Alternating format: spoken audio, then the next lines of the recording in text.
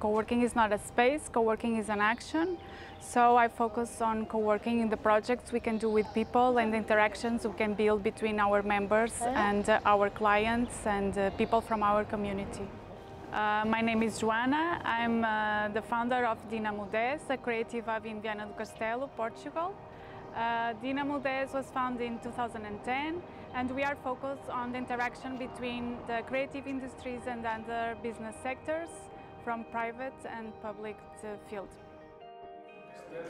Ja, Coworking Center um, Dinamo 10 Creative Hub je v bistvu zanimiva privatna inicijativa. Uh, osnovni namen pa je dejansko povezovanje različnih uh, kreativcev, ki imajo tukaj možnost ustvarjanja, uh, povezovanja in pa seveda tudi izobraževanja. Ne, gre za zanimiv koncept, um, kjer je poleg coworking centra tudi nek, bomo rekli, dnevni center, kamor lahko prihajajo domačini na delo, na ustvarjanje.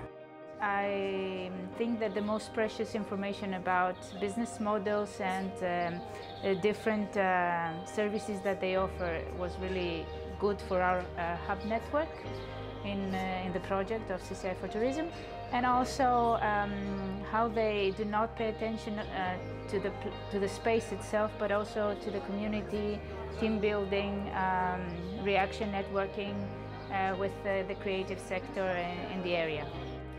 Obisk v Dinamo 10, v hubu Dinamo 10 me je pravzaprav navdušil. Skušajo skupaj z pač člani oziroma uporabniki tega uh, huba uh, delati oziroma razvijati neke zgodbe za skupnost.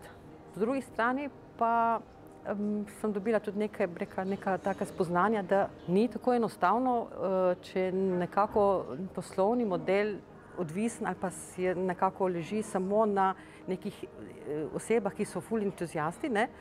E, tako da ta spoznanja v vas mi, mi bodo zelo pripomogla, ko bomo pri nas razvijali naš hub.